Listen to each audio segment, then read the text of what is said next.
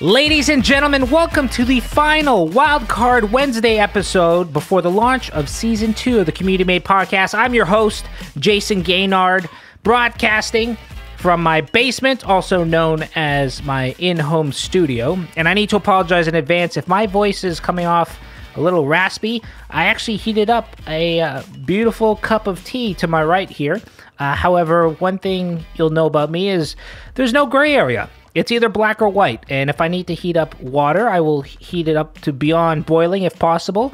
And the end result is that uh, it's scorching hot. I can't even hold the cup, and it'll probably be a good 80 to 90 minutes before I can do that. With that said, really, really excited for season two of the podcast. It is a monster of a season with over 20 episodes geared towards helping you grow, nurture, and amplify your business relationships. Topics in this season include how to network at events as an introvert why the wisest investment is wisdom and how to find a mentor, how to reach the unreachable and befriend celebrities and billionaires, and how to benefit from being a catalyst by hosting dinners and other experiences. Again, this is a big season. Over half the episodes are solo episodes, with the other half of the episodes being interviews with friends of mine where I had to hop on a plane and fly to their city, if not fly to their country, to facilitate those interviews. And they came out fantastic. In today's episode, it's a little bit of a, a teaser, I guess you could say, for season two. I recently did an interview with a very good friend of mine named Andrew, who owns a company and a podcast called E Commerce Fuel. He's been podcasting for a long time, and this interview turned out fantastic. I've been easily interviewed dozens of times over the years, and 99% of the time, an interview always goes through the same, I guess, structure. It starts with, you know, tell us your story, and, you know, how did you first become an entrepreneur, and what did that business look like, and those kind of things. And next thing you know, you're in, 45 minutes in and you've yet to touch on anything that's actionable. And Andrew had a very different approach. He wasted no time whatsoever. He came right out of the gate asking really tough questions, which honestly caught me off guard initially. And you may get that uh, from the interview. So I thought there was no better way to introduce a lot of the concepts from season two than to actually share this interview with you. So in this episode, we cover how to connect with influencers like Seth Godin or Kevin Rose, knowing when to leverage your network, the rules for facilitating introductions, and why how you do anything is how you do everything and so much more. Ladies and gentlemen, hopefully you enjoy this conversation as much as I did. Enjoy this intimate one on one with Andrew from e commerce fuel.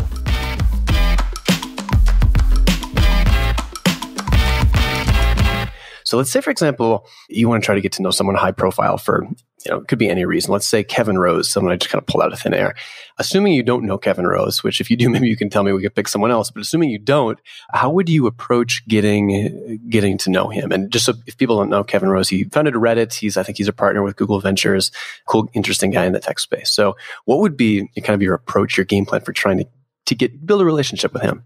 Yeah, so I, I think a couple things. One is whenever I have anybody that wants to connect with a big name, I always ask, would you be friends with you? Meaning, if you want to connect with a millionaire or a tech titan in this case, what would make you fascinating to that individual? And it doesn't have to be apples to apples. Like if you want to connect with somebody who's well off financially, you don't have to be well off financially, but you have to be interesting or fascinating on some level. So, for example, I have a friend of mine who's traveled to 119 different countries.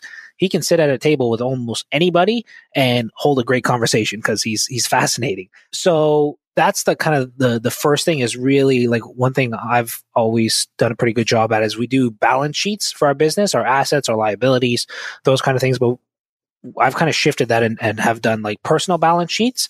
What am I really good at? What are my strengths? What are my areas that I can improve upon? What are my weaknesses?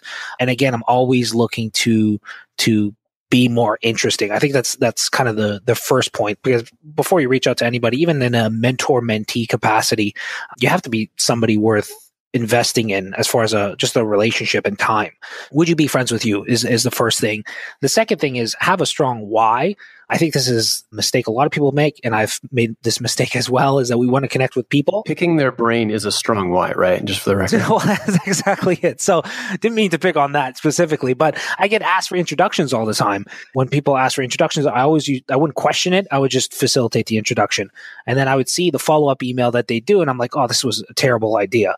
So instead now I'm like, well, just give me a desire like what's a desired outcome for the introduction and 90% of the time they won't follow up the need for the introduction will just die so having a clear and strong why for an introduction or, or why for a reason to reach out to a certain individual i think is really really important and those are two things that people don't talk about. And I think that's much more important than the technical, like how to. With that said, if you are interesting on some level and you do have a strong why, then different ways you can go about it. One of the easiest ways, uh, not easiest, but best ways and most effective ways is through a warm introduction. So ideally try to find somebody that you are mutually kind of connected with who can facilitate that introduction. If not, then you may have to reach out cold. There's a bunch of different ways you can figure out people's email addresses. There's a lot of great blog posts out there on how to do it. So I won't I'll spare you the details, but in that cold outreach, there's a saying from a great book called 22 Immutable Laws of Marketing, which is what works in the military works in marketing, and that's the unexpected. And I th- think the same can be said when it comes to trying to build relationships with people. You know, somebody like Kevin Rose may get 500 emails a day. So if you're going to send them another email, how can you make that email pop or stand out? So it could be an emoji in the title. I use video emails a lot. So I'll use a, a platform like ViewedIt, V I E W E D I T. I feel like I'm in a spelling bee. And you can basically record a video email, and that stands out. And in that email, usually what I do is I'd say, I'd have a text version and I'd have a video version, but ultimately I would try to see if I can connect with them on some level, whether it be an uncommon commonality. So Kevin Rose is big into tech. So see, you know, you can leverage that uncommon commonality that you guys share. Or we always, uh, like all of us, have a deep desire for significance and praise and, and those kind of things. So if you're going to praise somebody and use that in your outreach, don't just say, oh hey i love your work and leave it there. Like be very specific. The more specific you can be the the better. And that may just buy you enough time to catch their interest to read the rest of the email. But to me again would you be friends with you? Have a strong why are, are two really big components. And plant a seed meaning you know if you want to connect with kevin rose better to try to plant that seed now than two years down the road when you really want to connect with them and i'll give you an example i know Tim Ferriss, for example, I met him initially in 2011. It wasn't until I saw him five or six times in person that, that we really struck up a, a, like a decent conversation. So again, don't be don't be scared to plant that seed. If you have a an author that you love his work, send him an uh, email or a tweet and say, you know, love your work and here's the reason why, or or those kind of things. You never want to. Ideally, you never want to start an outreach with an ask. What about so maybe we can go hypothetical to more specific you on your podcast you had seth godin on your on your show so how did you how were you able to he's, he's a guy that's obviously in, in huge demand for speaking and and I, I, don't think he does a ton of interviews especially uh, so, so, how did you use those principles to to get him on the show so seth seth is a unique example in the sense that he's uh, him and gary vee in the business circle and business environment are probably the most accessible guys in the sense that they read their own email. So they don't have gatekeepers. They they really strive. I know them both personally now, but they both strive to like reply to all the emails and those kind of things. I remember my my interaction with Seth. How it happened was basically I went to an event that he facilitated and uh, got huge value from it. Took action on a lot of things that he shared, and then followed up with him months later telling him, well, this is what I learned from you. This is how I took action. These are the res- results I got and would love to interview you for the podcast. He said, that sounds fantastic, but I'm, I don't know if he said he was busy at the moment, but basically I was very early on with the podcast. And I guess there's a lot of people in the podcasting space. It's very sexy right now to start a podcast and not too many people are veterans like you that have been kind of doing it for a long time. So oftentimes the, those big name people want to see that you can actually stick with the consistency of doing a podcast.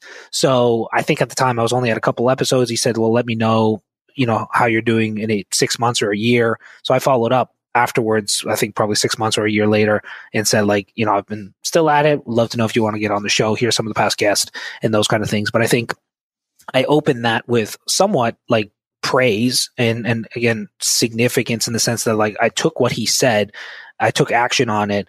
I got a result and I followed up with them. So I kind of closed that loop because oftentimes as, as people who are thought leaders, you know, they write a book, they spend a year or two years writing this book, they put it out to the world. They don't necessarily know how it's received or what is taken from it, what's what people take action on. And to me as an author, when I have people reach out to me because I wrote a book called Mastermind Dinners and they take action and, and do a dinner themselves and they send me a photo, I mean, I will make time for that person because that's like the greatest expression of myself is is is that book ultimately. So yeah, Seth Godin is a, a unique case, but that's how that happened. How do you decide what new intros to take? One of the things about networking is, especially, I feel like today, like 2017, eh, you get to a certain point and you have a lot of inbound requests or people asking for your time to either help them or to connect with somebody interesting. But there's a balance between taking intros and always kind of exploring serendipitous leads and relationships and being focused on cultivating the network that you have, on executing on what you need to get done. How do you find that balance? How do you decide when to take intros and when to, you know, kind of very respectfully decline? Yeah, so it's it's it's more of an art than a science. I mean, at, at the the phase that I'm at, which is I have an abundance of of friends and connections and contacts. For me, the key to a strong network is subtraction and not addition it's one of those things that if I say yes to somebody who is maybe like a, a B player or C player, let's say, I'm saying no to somebody that's a relationship that I need to invest in ultimately. So, and when I say B player, or C player doesn't has nothing to do with success, but just really like the quality of a relationship. So yeah, I mean, there's something called the Dunbar number, which is the the amount of stable social relationships that we can have, which is 150. So I try to be very conscious as far as who I spend my time with. I look at my network almost like the Spartans. It used to be said that one Spartan was worth several men in another state. So I'm always looking for opportunities to refine who I spend my time with and, you know, weed out people if need be. So uh, as far as, but it's, again, it's a fine balance because when it comes to introductions, it depends how it comes because I'm a firm believer that amazing people know other amazing people. That's how my network grows at this point in time. It's it's generally through introductions. And if somebody I know and trust says, "Hey, I have somebody that uh, I want to connect you with," I almost always take that introduction. Even if I don't know it's necessarily a great introduction, I don't turn it down because I never want them to second guess doing introductions in the future because you know who knows out of five or ten introductions one of them may be a life changer for me so I always uh, say yes to to those introductions, or at least I try to. When somebody reaches out to me cold, again, I always it, it kind of ties into what we talked about earlier. I mean, it really depends on on how they reach out and you know, I guess how promising they are as far as like if I do give them feedback, will they take action on it and those kind of things. But it's one of the a lot of people don't invest in relationships because they can't peg an ROI to it. But Steve Jobs once said, you can't connect the dots looking forward. You just need to trust that they'll somehow connect. And the last thing I would ever want to do is kind of burn bridges or any of that kind of stuff. Cause I've seen people, amazing people become increasingly amazing over time. And for me to be able to invest in somebody like you would invest in a business, find somebody who's undervalued and you know, support them, believe in them, offer them guidance and advice. You know, five years down the road, that could be the next Tim Ferriss, or 20 years down the road, that could be the next Elon Musk. You never know. It's a fine balance of, of managing your time and, and trying to kind of help everybody. But again, it's to me, the key to a strong network is subtraction and not addition you mentioned introductions. You know, what are some good rules for making good introductions for being a facilitator there? I think one of the most obvious ones is double opt-in, making sure that that both people are interested in the introduction, so you don't blind some blindside somebody with with an intro that they don't necessarily, you know, is is not a good fit for them or, or they're busy. What other rules or, or maybe concepts do you have for making you know introductions where both people are really excited about? Is is it primarily just about thinking through the value that both side is is going to receive and making sure it's a reciprocal relationship potentially? Yeah well you touched on i think the most important factor that's unfortunately not obvious the importance of a double opt-in introduction. Again it's I, I mean i'm always blown away how many times i just get a random introduction in my inbox and i'm historically not great at at answering email in a timely fashion. And because of that when i get a random introduction it puts the onus on me to drop everything to reply back to that person as quickly as possible. Not only to be nice to that person that is being introduced to me, but also to be respectful of the person who made the introduction because I don't want to make them look silly either. So double introductions are, are huge. And I think again, vetting the, the individual who wants the introduction, if they ask for it, as far as what the desired outcome is and why they want to connect with that person, I think helps them get their house in order so that when you make the introduction, it's not like, hey, I just want to connect with you because I think you're interesting or something like that. So I don't, I definitely don't want to glance over the importance of a double opt in introduction. And yeah, I mean, if it's, it depends on, on, on, on the context. If it is some, somebody reaching out because they want to connect to a certain individual, when I do do that double opt in and I reach out to the other individual and say, hey, you know, this is who I want to connect you with, I also don't I give them an, a, an escape in the sense that like I don't make it I say like like there's no pressure expectations for this introduction. If you have no desire to connect with this person or you see no value, then please like just let me know and I can easily do the dirty work and say you know he, he's busy right now or those kind of things. Because some people still do double opt in intros with me, but it's so hard to say no. There's no out. So I think that's an important factor. The vetting is is an important factor, and then facilitating the introduction itself, giving context. I see so many people make that mistake. Is that I'll get this introduction, I'll say you know hey Joe meet James, I really think you two will hit it off. Then I've actually hopped on a call with these people where there's a there's poor context for an introduction, and neither of us know why we're on the call. So setting the tone is saying like, hey, you know, James, I want you to meet John. John is a phenomenal entrepreneur, XYZ. This is, you know, he's brilliant at this. And this is why I thought I'd introduce you and, and, and vice versa. And also it's a great opportunity to stroke the egos of, of both individuals and say, listen, I'm a huge, and it, you know, if it comes from a genuine place that you love this person and, or you respect them for, for these reasons, it's just another opportunity to invest in those relationships. So those are, are some ways to kind of go above and beyond when it comes to introduction. Seth Godin, he wrote a book called Tribes and, you know, partially the importance of being a connector and you're kind of in that place too. You know, you know a lot of different people kind of built a, a career on that at this point. Where do you see the biggest value in being a connector? I mean, you could kind of play devil's advocate and argue on the other side that being that connector or that spoke, you connect a lot of other people, but you know, you yourself may not get the value. You're just a conduit through which people you know connect and and what are your thoughts on that like where do you see in the end game the long term game you being you know receiving value by connecting people the right way yeah, I mean, it's tough because people look at, at the work that I do, the value that is created from it, and they think that I should try to monetize those said relationships. So if I introduce two people and they start doing business together, I should get a cut. And I know some people that kind of approach business and life that way, but for me, it just makes things transactional and makes things sticky.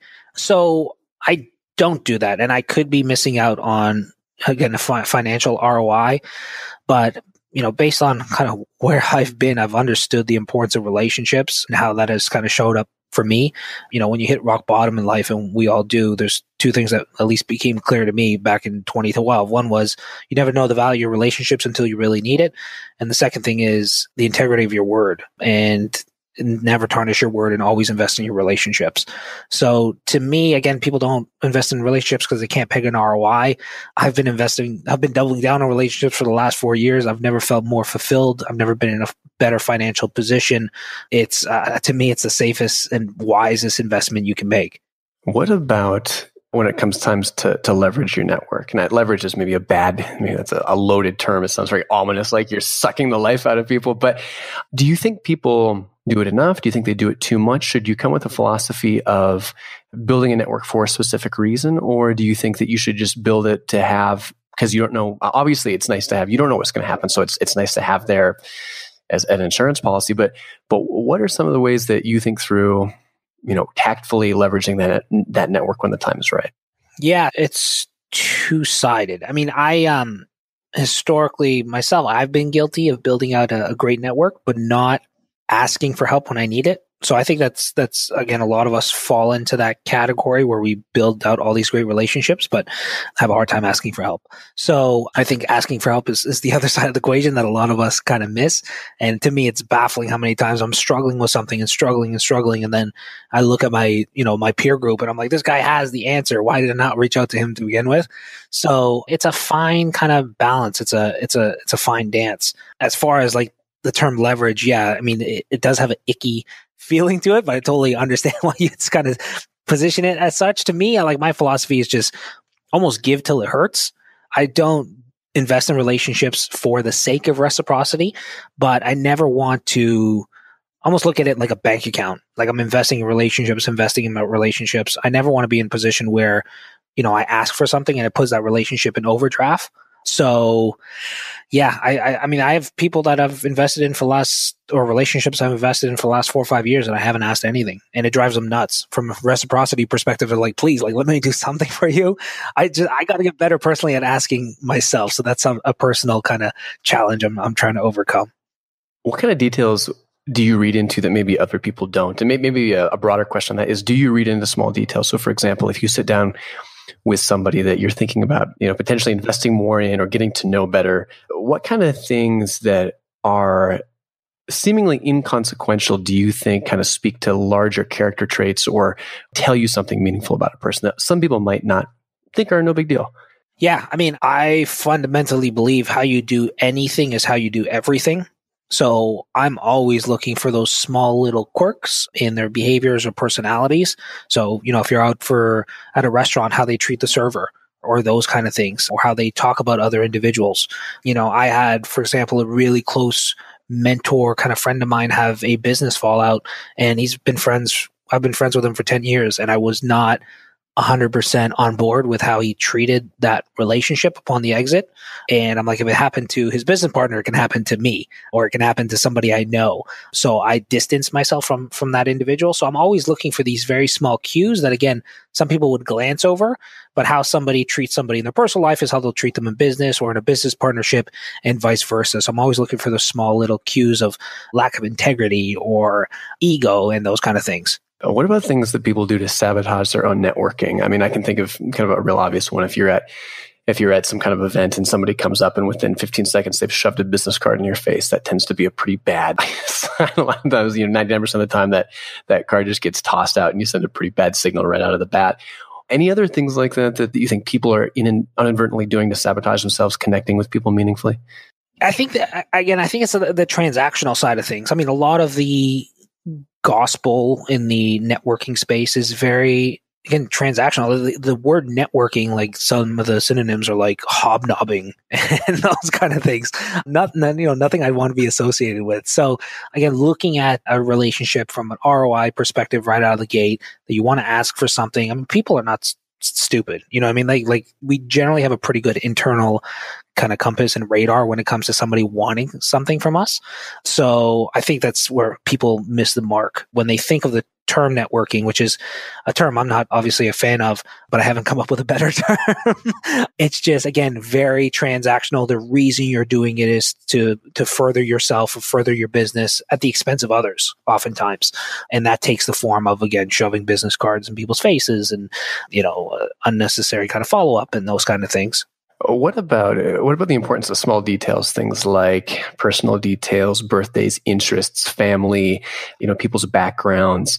It's you know, you're trying to get to know people. These things they do matter, but uh, also they're easy to forget. So, like, I guess what I'm asking is, how much do you do you think about those? Do you do you do you write them down? If you do write them down do you keep them like in a crm does that seem a little bit once you get to that stage does that seem like that's almost too like robotic and mechanical? And at that point you're not necessarily being really relational. You're just you know kind of getting back to that more synthetic fake relationship building. How do you think about how the small details tie into building genuine relationships and and you know how far you take that? I'm glad you brought it up. It's absolutely crucial. You know, for me, I have something called the biggest fan philosophy, which is how somebody would look at investing in a business. I look at investing in people. So somebody tries to find an undervalued business and invest in it. I try to find people who are undervalued, diamonds in the rough, so to speak, and invest in them. And that doesn't have to be financially. It could be with time. It could be with a connection. It could be with just belief, right? I think as entrepreneurs, anybody in general, we all can think of a time when somebody believed in us when we didn't necessarily believe in ourselves and the impact that necessarily that, that had on us. So for me, I'm always looking for those little things. And in the context of like these things that are unique to them, whether it be the name of their kids or where they grew up or what excites them. I mean, that's when you really start to build a, a, a deep relationship, relationship with somebody. So I capture as much of that as I can, whether that be over email. If somebody says, "Oh, you know, I had, um, sorry, I'm late. I had to put my kid to sleep," I'll be like, "Oh, what's the name of your your child, or how old is your child, or those kind of things," and I'll capture that. Or if I'm in conversation at lunch or something like that, I'll I'll ask and I'll dig for things and it's genuine interest. It's not from me trying to extract things, but genuine interest. And I'll pay attention to the things that, that matter to them. And after a conversation, I'll either, or after a lunch, I'll, I'll either write things in a notebook or I'll do an audio recording and I'll save it. And then that will go into a CRM that I use. And it's just one of those things. I did a lunch today where I have all these important points like the name of his his wife and you know what keeps him up at night and what he's working on and those kind of things these are all just great starting points for our next conversation. And i can tell you man i went to an event in 2011 i remember meeting one guy named mike and his daughter was three months old and she was born blind but she was getting better over time. And I still remember that. And six months later, I followed up and I'm like, oh, how's your daughter? And it had nothing to do with business whatsoever, but it was something that mattered immensely to him. And if it mattered, if I, there's a saying by um, Tony Robbins that if you want to influence somebody, find out what or who already influences them. And I take that if you want to care about somebody, care about who they care about or care about what they care about. So I try to capture all those things. So, you know, obviously somebody cares about their daughter who's three months old. So that's a talking point for me or, you know, what they're passionate about, whether it be a sport or, or, or whatever the case. Those are all unique points that deepen the relationship far faster than, you know, oh, how's business or how's the weather and those kind of things. So that crucial component to building deep, genuine relationships. And the only reason you put in a CRM is truth be told, we live in a time that we're absolutely overwhelmed. So to be able to create these kind of databases of important quirks and facts and dates and names and those kind of things pertaining to certain individuals, I think is, is priceless and is a, it's a best practice that I've been doing for the last couple years. What do you think about the state, kind of more broadly, maybe away from from networking for business to just just re- people's relationships and community in general? What do you think about the state of community today? I'll just say North America. It's varies throughout the world, but you know, North America, uh, just just to give us a, a framework. There's an interesting book I read. Uh, I'll link up to it called Tribe about kind of how so much of society today is less focused on community than it was even 50 or 100 years ago, and and uh, people have fewer and fewer you know close friends. I'm being you know kind of generalizing a little bit here, but have you seen that? Like, do you feel like that's a systemic problem with a lot of our society today, or do you think it's overblown? Yeah, so Tribe by Sebastian Junger is one of my favorite books of all time by far. It's an absolutely brilliant book. And we, I think social isolation is a epidemic. You know, we see it everywhere. I mean, in, in, Sebastian's book, he talks about PTSD in the military and those kind of things. There's a, even bringing it back to, to business a little bit. A AWeber partnered up with Copyblogger a few years ago, and they discovered that there was one email title that opened had super high open rates across industries. It worked for personal development, it worked for potty training, it worked for Viagra, it worked for selling cars. And that email subject line was you are not alone. And I think it's it's telling. I mean, there's a book called Never Eat Alone by Keith Ferrazzi. He wrote another book called Who's Got Your Back? And in that book, he interviewed a thousand people and asked them one question and one question only, who has your back?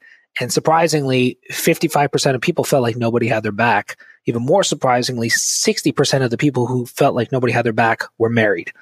So I think we are in a time where on a surface level, we feel like we are more connected than ever, but we've never felt more isolated and it's showing up everywhere. It's showing up in uh, the depression rates, suicide rates, especially amongst young, I guess, professionals who are young kids that have grown up on social media. I mean, the, the suicide rates are just going through the roof. It shows up in different, there was a TED talk on the, it was a 76 year, it's still going on. It's like a 76 year study on adult development. And basically they found out the biggest predicator for longevity wasn't your diet, wasn't uh, your exercise, but actually the your social ties and how tight your social ties were. So I think so it's not only like the, the business component where you'll benefit from having tight relationships and that kind of stuff, but also mental health, physical health, longevity, overall happiness. Like all of these t- things are tied to relationships. And again, it's, it's one of those things I think we're, we're drowning in connections, but we're starving for community. We see it time and time again. And I don't think it's going to get any better, unfortunately. So I think, you know, having a community, whether it be joining a community like, like yours or creating a community of your own of like-minded individuals and peers, I think is absolutely priceless. And kind of tying into the, the, importance of, of community being in person. Mastermind Talks is kind of a kind of one of the keystone events you've, or the keystone event you, you've you've really uh, built up over the last few years. Can you give people a sense who haven't heard of it what Mastermind Talks are and what you do differently to make it really unique from other events? I gotta say that was a beautiful segue. I'm very impressed. Yeah, I mean, so so Mastermind Talks initially was just a fun project, but I always say that ignorance, hard work, and confidence can go a long way sometimes. And I didn't know what I was doing, and because of that, it turned out to be a big success. And they, I mean, it's been an evolution. I mean, our first event was geared towards wanting to be almost like the TED Talks for entrepreneurs. So it was very kind of content heavy, but because the the attendees were so curated, there started to be that this this community that that formed. And when we had our first event, we had 15 speakers. 10 of them came back as paid attendees the following year.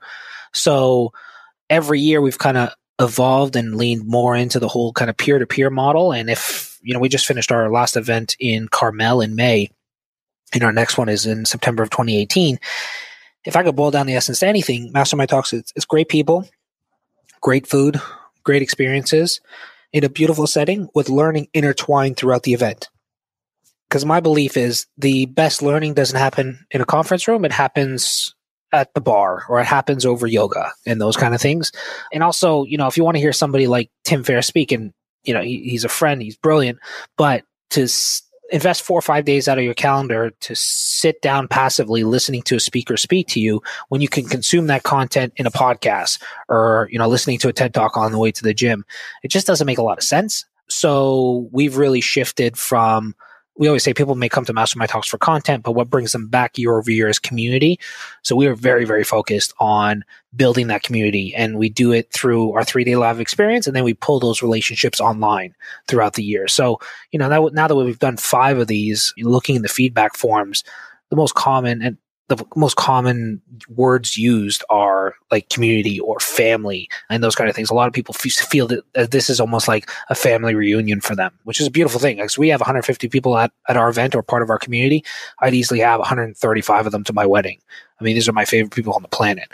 So yeah, it's it's it's very much a, a community focus. I hate kind of lumping it in with events, but that's really where it kind of started, and that's somewhat still what it is with the 3D lab experience. It's really just a, a beautiful community of people.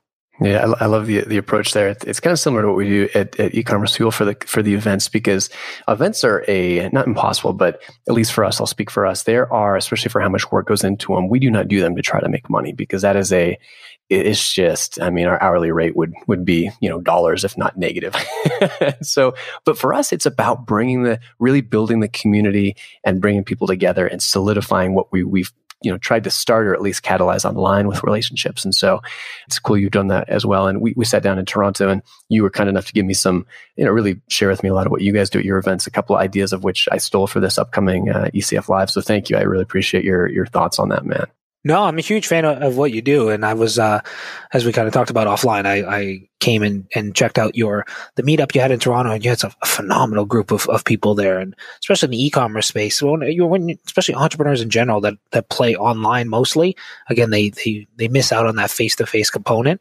and it sounds like you're doing a beautiful job bridging the two. So honor the work that you do.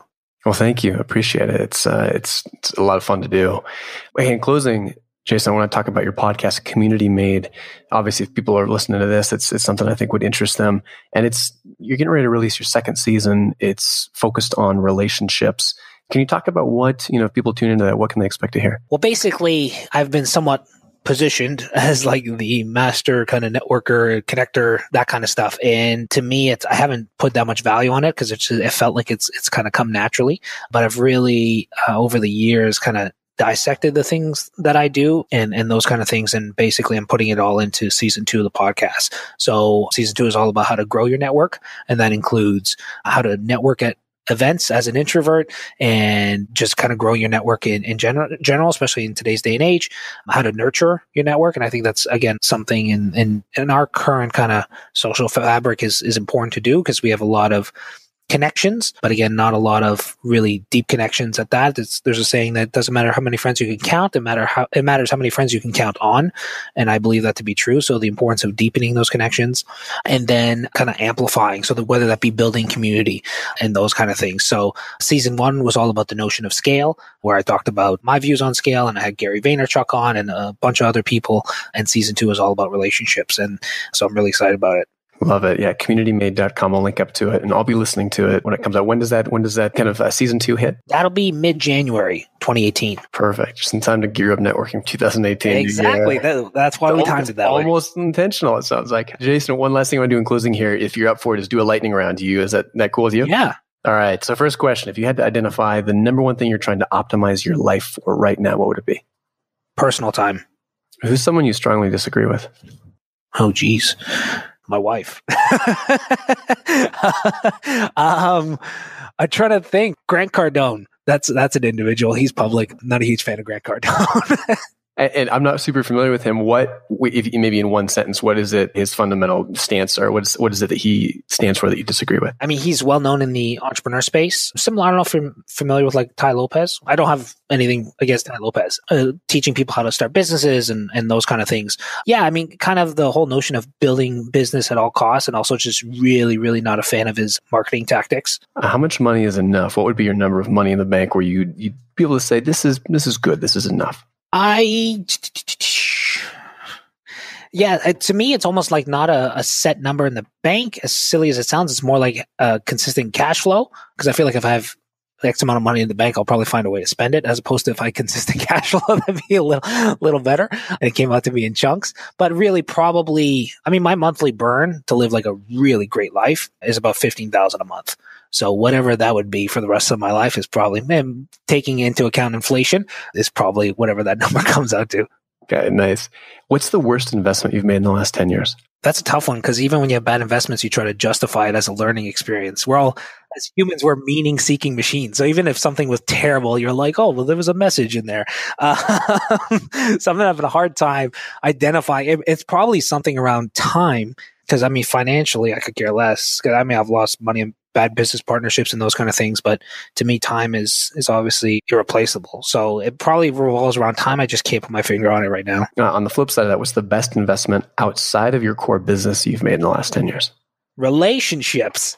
Softball, baby! I just threw the one right up for you. There you go. Thank you. Yeah, no, I, I, mean, absolutely, without a shadow of a doubt, it's it's it's relationships. It ties into to I guess my business on some level for sure. But even if I wasn't in this business, I would be doubling down on relationships all day long. And, and finally, what was the first CD you ever owned? what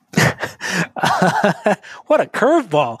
Softball, the curveball. Honestly, it wasn't. Well, it wasn't a CD. Uh, maybe I'm dating myself. It was a cassette and it was Snoop Dogg and NWA. Oh, it's awesome! I love I love hearing the answers to those. Jayson, man, well, this has been this has been a ton of fun. Thanks for coming on. And if you know if you didn't catch it the first time through, make sure at a minimum check out communitymade.com. That's where Jayson's got his podcast and Mastermind Talks we'll link up to that that website, mastermindtalks.com, if you're interested in learning more about the event. It has a really cool, really cool video that kind of highlights that. So if that's something you're, you're curious about or, or want to check out, I highly recommend it. Jayson, it's been a lot of fun. Thanks for coming on. Thanks for all your help and support and advice you gave me in person in Toronto. And looking forward to, to catching up soon, man. Awesome, dude. I appreciate these well thought out questions. Thanks, buddy. See you, brother.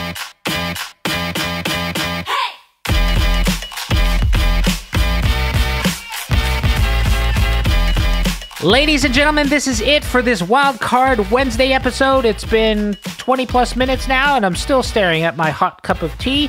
I hope you enjoyed this one. I'm really, really excited, as you can tell, for season two of the podcast on how to grow, nurture, and amplify your business relationships. That is coming out in early April. If you want to know more from me or hear from me in the interim, because April seems like it's so far away. Join the Community Made group by simply visiting communitymade.com. In there, we give away free books. I recently gave away, I think, 15 copies of Gary Vee's newest book, Crushing It. Uh, I also gave away Steve Sims' book, who's good friend of mine, which is called Bluefishing, which people loved.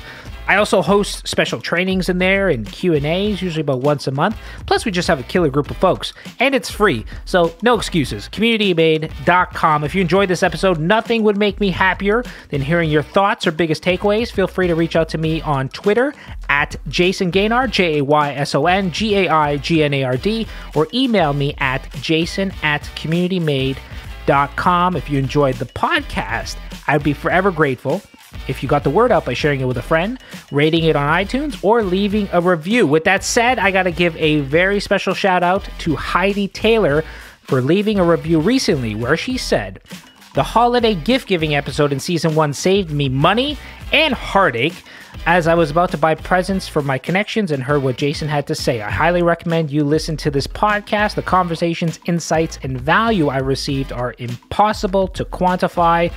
So do yourself a favor and just hit subscribe. Heidi, you're a gem. Thank you so much. And I actually saw in the Facebook group that you received your copy of Gary's book, Crushing It. So thank you again for the honest review. Also, quick side note our first workshop sold out. This was not necessarily expected, but I'm hosting a workshop in the near future on a lot of the stuff that we talk about in season two of the podcast. That first workshop sold out within a day or two. So we're doing a second workshop. So to see dates and availability for those workshops on how to grow, nurture, and amplify your business relationships, they're two day workshops. Visit superconnectorworkshop.com.